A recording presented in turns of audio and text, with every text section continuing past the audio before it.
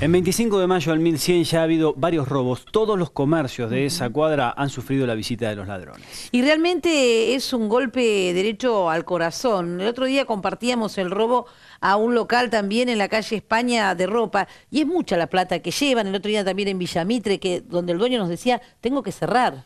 Claro, porque los ladrones se llevan la ropa, lo que tienen los comerciantes para poder vender y así subsistir. Y ahora, sin ese bien necesario, no pueden volver a empezar. Uno se parte el alma trabajando, se levanta todos los días temprano, viaja, eh, le mete un montón de horas, hace un montón de sacrificios y te da bronca porque en cinco minutos te caga la existencia.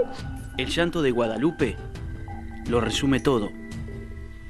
Delincuentes ingresaron anoche a su local, en 25 de mayo al 1100, y prácticamente lo saquearon.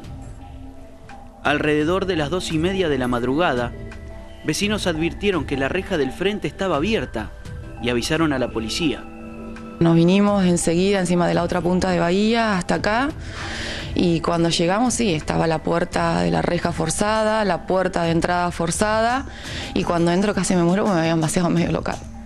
La comerciante había llegado el miércoles a la ciudad con mercadería nueva que había traído desde Buenos Aires. Fueron justamente esas prendas las que se llevaron los delincuentes. Pudieron elegir la, ropa, qué llevarse, porque se llevaron lo más caro. Llevaron ropa de hombre, que la ropa de hombre siempre es más cara. Lo que es jeans, que los jeans también siempre es más caro. Me, vos mirá, los percheros me vaciaron todo. Lamentablemente, no se trata del único robo en esa misma cuadra en lo que va del año. Trabajaron tranquilos, si bien esta es una cuadra que tiene mucho movimiento, pero eh, es muy oscura de noche y encima la noche los acompañó con la lluvia, que, que por ahí eso por ahí prestaba para, qué sé yo, para que no escucharan ruidos.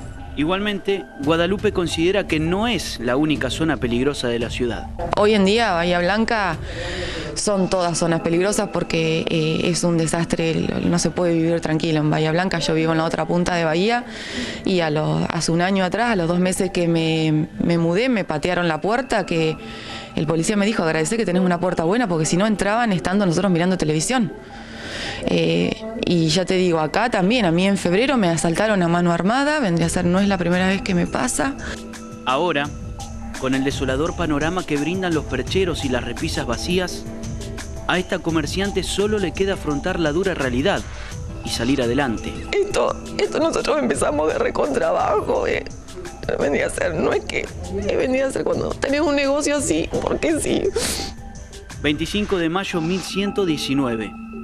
Otro robo más para la estadística bahiense. Un duro golpe para una familia trabajadora.